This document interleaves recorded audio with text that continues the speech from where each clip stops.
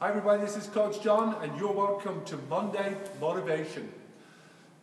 In the world that we live in today, guys, it seems like everything is spinning out of control. And when things are spinning out of control, we need to go back and take back some of the things that were in our power to control. While change is necessary in life, too much of it is not a good thing. No more than too much consistency is necessarily not a good thing either.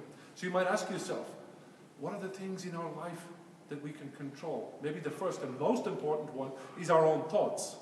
Because with our thoughts, we create the world that we live in, literally create our own world, our own beliefs, our attitude. Imagine waking up every day and having the attitude of gratitude, the attitude that no matter what's happening, how it's go, what's going on, how it's going down, I'm going to ultimately benefit and grow from this experience. Finally, your friends. You will always be the average of the five people you spend the most time with. So we can't go back and change the last three or four months. That's not possible.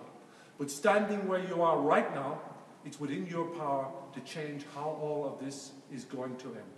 Guys, if you like the content, please like and subscribe. Looking forward to seeing you all next Monday.